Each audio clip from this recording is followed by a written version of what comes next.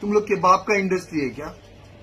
जो तुम बोलेगा वही होगा? हेलो दोस्तों, लगातार चल रहे बॉयकॉट के बीच पठान 25 तारीख को रिलीज़ होने वाली है। इसी के बीच हिंदुस्तानी भाव ने बहुत कुछ कहा है पठान को लेकर। आपको बताएँगे पूरी इससे पहले अगर आप पठान को बॉयकॉट करना चाहते हैं तो हमें कमेंट करके ज़रूर बताना। हिंदुस्तानी भाव ने कहा, पठान को देखे या ना देखे, ये लोगों की मर्ज़ी है, लेकिन लगातार हो रहे बॉयकॉट के कारण फ़िल्म आरोप काफ़ी असर पड़ने वाला है। हो सकता है फ़िल्म फ्लॉप भी हो जाए। हिंदुस्तानी भाव ने कहा की पहले भी बहुत सारी फ़िल्में फ्लॉप हो चुकी है, और होनी भी चाहिए, ताकि बॉलीवुड को सबक मिल सके। तो आपको बता दें की इससे पहले भी बहुत सारी चर्चाएँ हो चुकी है हिंदुस्तानी भाव के ऊपर, की उन्होंने बॉलीवुड और करण ज़ोर के खिलाफ भी बहुत सारी बातें कही हैं। आपको बता दें कि कई जगह से पठान के पोस्टर और थिएटर में ना रिलीज़ करने के लिए लोग कह रहे हैं कि अगर थिएटर में फ़िल्म रिलीज़ हुई तो थिएटर को बंद करवा देंगे। इसके कारण बहुत सारे थिएटरों में पठान मूवी रिलीज़ नहीं होने वाली है। तो आपको क्या लगता है, पठान हिट हो गया फ्लॉप हमें कमेंट करके ज़रूर बताना। धन्यवाद।